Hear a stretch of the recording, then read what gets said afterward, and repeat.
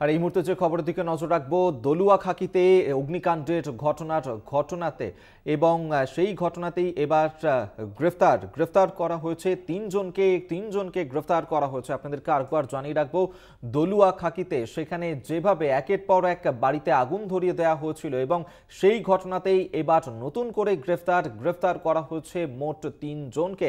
এই তিনজনকে নতুন করে গ্রেফতার করা হলো কিছুদিন আগেই। দলুয়া খাকিতে যে উত্তপ্ত পরিস্থিতি হয় এবং পরপর বেশ কয়েকটি বাড়িতে আগুন লাগিয়ে দেওয়ার ঘটনা ঘটে এবং সেই ঘটনাতেই এবার গ্রেফতার পুলিশের তিনজনকে গ্রেপ্তার করল পুলিশ। আপনাদেরকে এই মুহূর্তের আপডেট দিচ্ছি যে এখানে গত সোমবার তৃণমূল নেতা খুন খুনের পর যেভাবে বাড়ি ভাঙচুর করা হয় এবং তারপর একের পর এক বাড়িতে যেভাবে আগুন ধরিয়ে দেওয়া হয়, একাধিক মানুষ ঘর ছাড়া রয়েছেন দলুয়া খাকিতে এবং সেই ঘটনাতেই এবার তিনজন অভিযুক্ত তাদেরকে গ্রেফতার করল পুলিশ। দলুয়া খাকিতে বাড়িতে আগুন ধরিয়ে দেওয়ার ঘটনাতেই এবার গ্রেফতার পুলিশের তিনজনকে গ্রেফতার করল পুলিশ। আপনাদের কারবার জানিয়ে রাখব গত সোমবার তৃণমূল নেতা খুনের পর বাড়ি ভাঙচুর করা হয়, একের পর এক বাড়িতে আগুন ধরিয়ে দেওয়া হয়, সেই ঘটনার প্রেক্ষিতেই এবার গ্রেফতার পুলিশের। তিনজন অভিযুক্তকে গ্রেফতার করল পুলিশ। দলুয়া খাকিতে একের পর এক বাড়িতে আগুন লাগিয়ে দেওয়ার ঘটনাতেই এবার নতুন করে গ্রেফতার তিনজনকে গ্রেফতার করল পুলিশ। আপনাদেরকে আরেকবার জানিয়ে রাখব, গত সোমবার তৃণমূল নেতা তাকে খুন করা হয় প্রকাশ্যে এবং সেই খুনের পরেই উত্তপ্ত হয়ে ওঠে সেখানকার পরিস্থিতি এবং সেই ঘটনার পরেই একের পর এক বাড়িতে আগুন ধরিয়ে দেওয়া হয় এবং সেই ঘটনার পরে উত্তপ্ত হয়ে ওঠে দলুয়া খাকি এবং সেখানে পুলিশ নতুন করে গ্রেফতার করল তিনজনকে তিনজনকে গ্রেফতার করল পুলিশ। আপনাদেরকে আরেকবার জানিয়ে রাখব, গত সোমবার তৃণমূল নেতা খুনের ঘটনা ঘটে, যেখানে প্রকাশ্যে তাকে খুন করা হয়। তৃণমূল কর্মী হিসেবে পরিচিত এবং সেই ঘটনাতেই পরপর বেশ কয়েকটি বাড়িতে আগুন ধরিয়ে দেওয়া হয় এবং সেই ঘটনাতেই এবার গ্রেফতার পুলিশের তিনজনকে গ্রেফতার করল পুলিশ। দলুয়া খাকির ঘটনাতে এবার তিনজনকে গ্রেফতার পুলিশের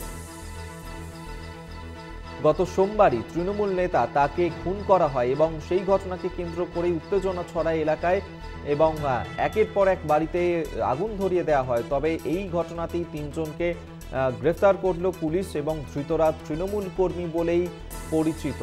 দলুয়া খাকিতে বাড়িতে আগুন লাগানোর ঘটনাতেই নতুন করে গ্রেফতারি পুলিশের তিনজনকে গ্রেফতার করল পুলিশ।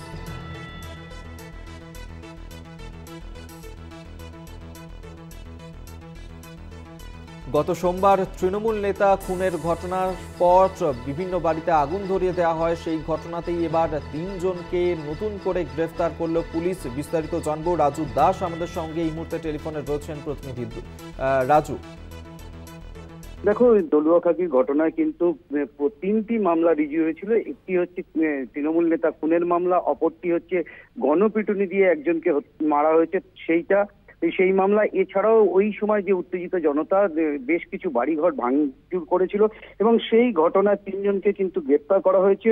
ওই দলুয়াখাকি এলাকায় নজরুল মন্ডল আকবর ঢালি ও মান্নালুল্লাহ জমাদার এই তিনজনকে কিন্তু গ্রেপ্তার করেছে। তাদেরকে আজকে বড়ইপুর কোর্টে তোলা হবে এবং পুলিশি হেফাজতে নিয়ে তাদের কাছ থেকে জানতে চাওয়ার চেষ্টা করছে পুলিশ, এরা কে বা কারা, আর কারা কারা জড়িত আছে। তবুও এই ঘটনায় গ্রেপ্তারের পর ওই এলাকার যে সকল বাড়িঘর যাদের ভাঙা হয়েছে তারা কিন্তু খুশি নয়, তাদের দাবি হচ্ছে আরও অভিযুক্ত আছে, সেই অভিযুক্তদেরকে আড়াল করার জন্যই কিন্তু মাত্র তিনজনকে গ্রেপ্তার করা হয়েছে এবং এই ঘটনায় তারা কিন্তু আর যারা জড়িত আছে তাদেরকে অবিলম্বে গ্রেপ্তার করতে হবে, সেই দাবিতেই কিন্তু তারা সরব রয়েছে।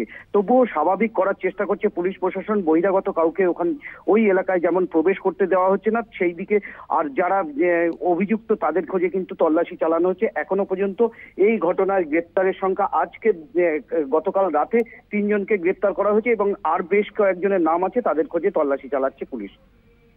হুম হুম, বেশ। রাজু, এই যে তিনজনের বিরুদ্ধে যে অভিযোগ উঠেছিল এবং তাদেরকে ইতিমধ্যেই গ্রেফতার করেছে পুলিশ এদের পরিচয় সম্পর্কে কি জানা যাচ্ছে?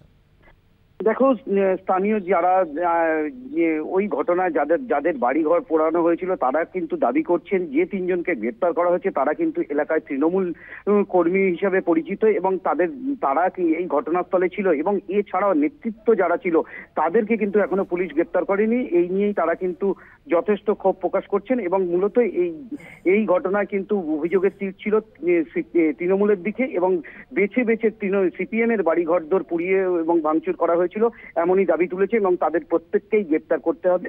সেই সেই দাবিতেই কিন্তু তারা সরব রয়েছে। এখন পর্যন্ত যারা গ্রেপ্তার হয়েছে, তারা তৃণমূল সমর্থিত বলেই জানা যাচ্ছে।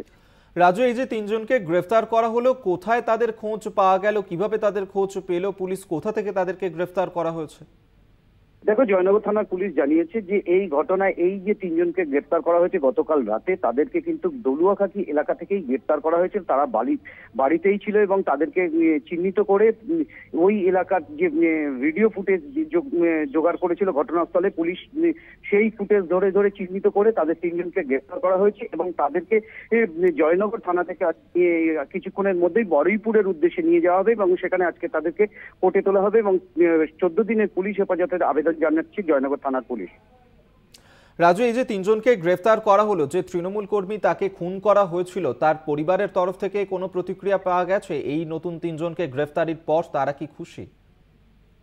দেখো তাদের পরিবারের পক্ষ থেকে এখনও কোনো প্রতিক্রিয়া পাওয়া যায়নি। মূলত তাদের দাবি যে বাকি যারা অভিযুক্ত, তাদেরকে কিন্তু যাদের তৃণমূল নেতাকে খুন করা হয়েছিল, সেই অভিযুক্তদেরকে পুলিশ ধরতে এখনও সক্ষম হয়নি। যে ঘটনাস্থলে সিসিটিভি ফুটেজে যারা ছিল, বাকি তাদেরকে কিন্তু খোঁজ চালাচ্ছে পুলিশ এবং তাদেরকেও অবিলম্বে গ্রেপ্তার করার দাবি তুলেছেন। এবং এই ঘটনার পিছনে যে মূল মাথা যারা আছে, যারা এই ঘটনার পিছনে নেপথ্যে রয়েছেন, তাদেরকে কিন্তু গ্রেপ্তার করতে হবে এবং চরম শাস্তি তারা কিন্তু দাবি করছেন। এবং গতকালকে যে গ্রেপ্তার হয়েছে, সেই ঘটনার কিন্তু পুলিশ মিথ্যা মামলায় ফাঁসাচ্ছে, এমনই দাবি করছেন স্থানীয় তৃণমূল নেতৃত্ব। বেশ বেশ।